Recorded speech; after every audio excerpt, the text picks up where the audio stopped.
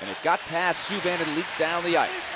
And that was a much, much better job by the Predators getting that set up. Nick Bonino doing a good job. A couple long relief plays, going hunting that puck down in the corner and getting the penalty killers moving, getting it into their hands so they could set up. Forsberg, bank shot, it goes in! Off the deflection, it leaked across the line. Filip Forsberg.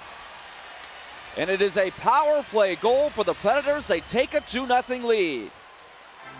And sometimes that's all it takes to kickstart the power play. We'll take it.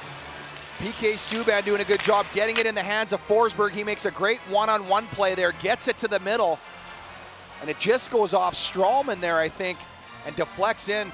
Tough break for Vasilevskiy. He got a piece of it. He slowed it down, but not enough. Just goes, trickles over the line there. You could see that's a helpless feeling for a goaltender. He did a good job of reacting. Look at that. They're laughing, but they'll take that, no question.